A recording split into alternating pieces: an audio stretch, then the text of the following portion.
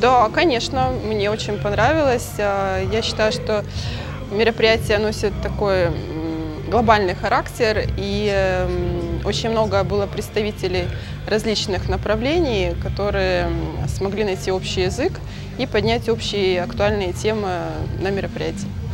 На мой взгляд, список докладчиков сфор- сформирован очень детально и э, дает обзор по всей э, нефтегазовой отрасли.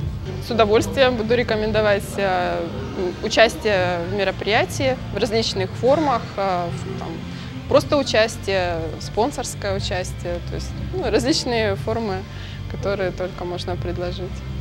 Были новые лица, новые компании, с которыми удалось познакомиться как непосредственно на официальной части, так и на гала-ужине.